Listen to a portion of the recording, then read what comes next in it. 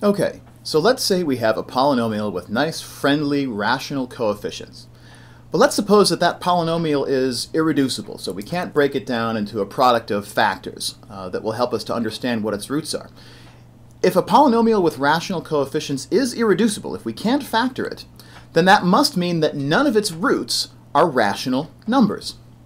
These are going to be the polynomials that we're most interested in trying to find solutions for, roots for, uh, because they're the ones that are somehow the building blocks of all polynomials with rational coefficients.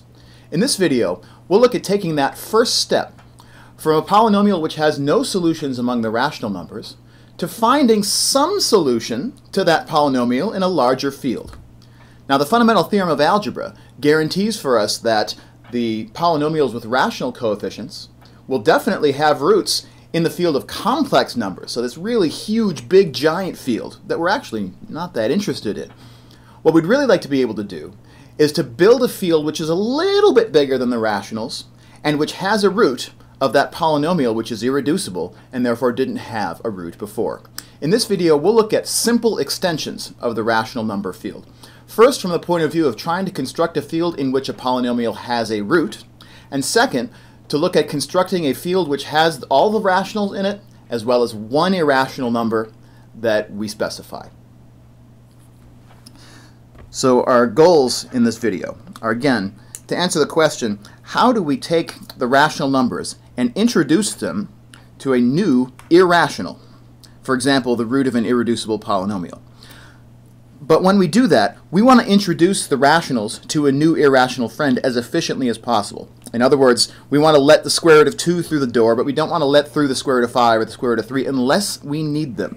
So how do we enlarge the rational number field by just a little bit in order to create solutions to polynomials that we didn't have before? First of all, again, if our polynomial with rational coefficients is irreducible, then that means that it has no rational roots. For example, t to the fourth minus 2 qualifies as irreducible because it satisfies Eisenstein's criterion with the prime number 2. But if none of the roots of p are rational, then what are they exactly? First of all, we want to understand the process, given an irreducible polynomial, of constructing an extension field of the rationals in which that polynomial has a root. So if t to the fourth minus 2 has no roots among the rationals, then what field does it have roots in? For example, where is this real fourth root of 2, as well as its opposites? What field can we find these in that's larger than the rationals, but hopefully not as large as the whole complex numbers? And secondly, we want to do the other process. Say I have an irrational number which belongs to the complex field. How can I construct an extension field of the rationals which contains that number, but hopefully not too much else? In other words, if I have something like the square root of negative 3, in what field can I find that number that's larger than the rationals. And don't just say the complex numbers wise guy. Because as it turns out, the interesting examples of extension fields in our course are much smaller than the rational numbers, uh, than the complex numbers are. So here we're going to talk about the definition of a field extension. I call it the quickest route to getting an answer. A field extension of a field F is a field E together with a monomorphism from F to E. In other words, we start with a base field, call it F, and we construct a larger field, an extension field that we'll call E. So we'll call F the base field and E the extended field. And the idea is that E is somehow bigger than F. But the language of monomorphisms here is suggestive, because in general we can't think of F as exactly being a subset of E, but we can think of somehow finding a copy of F inside of E. So in other words, this monomorphism, the job of it, is to be a function from f into e, such that the image of f is a subfield inside of e. As an example, suppose that we have f being the rational numbers, and so we have a number like negative 7 twelfths that belongs to f. Well, does negative 7 twelfths belong to e necessarily? Well, not necessarily. If e is the rationals with the square root of 2 thrown into them, then we can't think of negative 7 twelfths as belonging to e exactly. But we can think of the element negative 7 twelfths plus 0 radical 2 as belonging to E. In other words, this monomorphism I is kind of drawing a subtle distinction between the elements of the base field and the elements of the extended field which may have more degrees of freedom than the elements of the base field did. But usually, when the context is clear and when we're comfortable with the idea of a monomorphism, we will think of F as being a subset or a subfield of E, although it's not exactly the best definition for what it means to be a field extension. So here's a small example. Let's take the smallest finite field that there is, the z mod 2, so it has 0 and 1 in it, and the polynomial t cubed plus t plus 1. We can show that that polynomial is irreducible over z mod 2, and the quickest reason that it's irreducible is that it has no root and it's a cubic. So what we'd like to do is somehow construct a field that extends f and in which this polynomial has a root. So here's the construction. The construction is first, we're going to take the polynomial ring on top of f. In other words, we're going to look at the set of all polynomials with coefficients from our base field. That's a pretty huge ring. Even for the smallest field possible, z mod 2, this is going to be a ring with infinitely many things in it. And we know it's a ring because it generally polynomial rings don't have division inside of them. The only things in polynomial rings that are invertible um, are generally the polynomials of low degree. So first thing we do is construct this polynomial ring. And so that at least gives us some more elements to work with that might be roots of this polynomial. So how do we force p to have a root inside of this polynomial ring? Well, all we have to do is take p, t cubed plus t plus 1, and just declare that that element is equal to 0 in this polynomial ring. In other words, we're going to take this element 1 plus t plus t cubed, and we're going to identify it with the element 0 inside of the polynomial ring. What that means, functionally, is that we don't have to write 1 plus t plus t cubed. We can just make it 0. But as soon as we set that polynomial equal to 0, we have other consequences as well.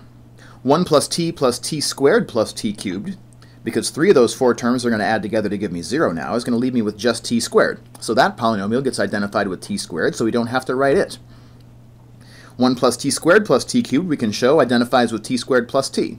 So we can reduce all of the third powers of t to lower order, and therefore we can reduce all of the powers higher than 3 of t into lower order.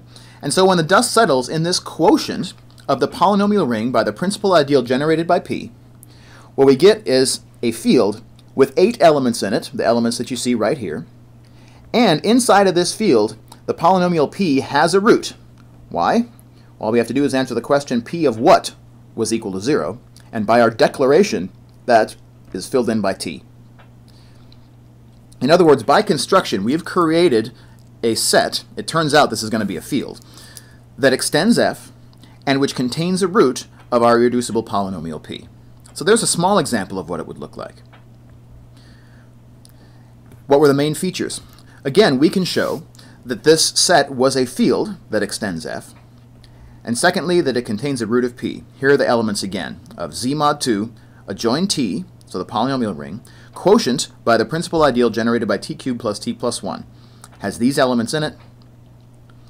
And again, when we're thinking of this as being a monomorphism that defines a field extension, we're going to think of 0 and 1 not as 0 and 1, but rather as 0 plus 0t plus 0t squared and so forth. Uh, that situates a copy of f inside of E. And again, the important feature for our purposes is that this bigger field now contains a root of this polynomial that we didn't have before. So the general process is build the polynomial ring of f, and then take your irreducible polynomial and just declare that it, and therefore all of its multiples, are equal to 0. Inside of that quotient, you will have a root of p by definition. So here's a bigger example to round out this half of our videos. Let's take the uh, rational numbers this time instead of z mod 2, which is a more common construction for us. And let's take the polynomial t to the fourth minus 8 which is an irreducible polynomial. And we'd like to, again, construct a field which is extension of Q, and in which P has a root.